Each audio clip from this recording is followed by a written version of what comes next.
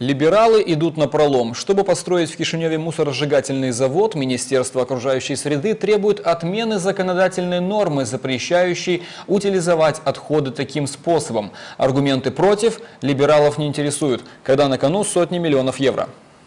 Парадоксально, но именно Министерство окружающей среды, которое по роду деятельности должно стоять на страже экологии, лоббирует изменения в законе и отмену запрета на сжигание мусора в Молдове. Как отмечают специалисты, это неспроста, ведь министерство по квоте досталось либеральной партии, а подписал контракт с итальянской компанией на строительство мусоросжигательного завода в Кишиневе Дарим Киртуака, который по совместительству является человеком 2 в либеральном стане. Нет ничего общего у контракта. Их может быть 10 в Республике Молдова с законом, который мы обсуждаем. Есть, говорят оппоненты, и приводят конкретные примеры. Так, Примария уже выделила, причем совершенно бесплатно, 10 гектаров столичной земли под строительство завода. Земельный участок уже находится в собственности у итальянской компании. Выделен участок в районе очистных сооружений. Он уже зарегистрирован в кадастре. Министерство экологии, настаивая на поправках, разрешающих сжигание мусора, ссылается на европейские стандарты и на необходимость приведения законодательства к европейским нормам. Правда, бывший министр экологии, а ныне депутат от ПКРМ напоминает, что Европа ужесточает экологические нормы и переходит на альтернативные методы утилизации отходов. До 2020 года снизится уровень утилизации мусора методом сжигания, потому что, во-первых, это токсично, а во-вторых, экономически необоснованно.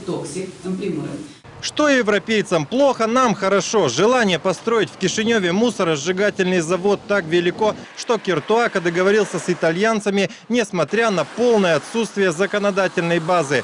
В этом признался замминистра окружающей среды.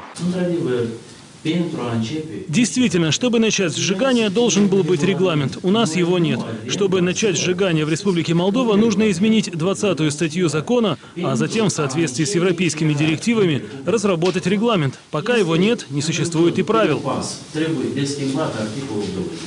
Нет правил, зато есть потенциальная прибыль. Согласно положениям контракта между Примарией и итальянской компанией, в случае, если мусора будет мало, его будут завозить в Молдову, что пока тоже под запретом. Меня удивляет, что Министерство экологии продвигает такой проект, предусматривающий сжигание.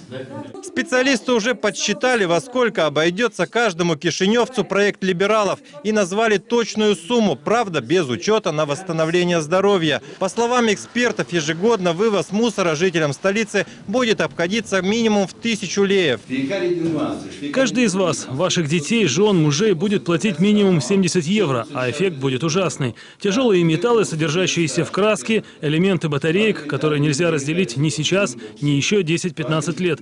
Мы все будем больны.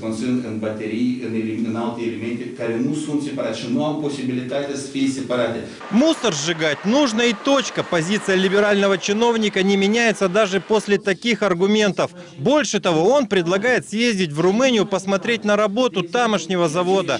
На что не пойдешь, лишь бы протолкнуть спорный проект, сулящий своим владельцам сотни миллионов прибыли. Олег Косых, Виктор Могылди, телекомпания «НИТ».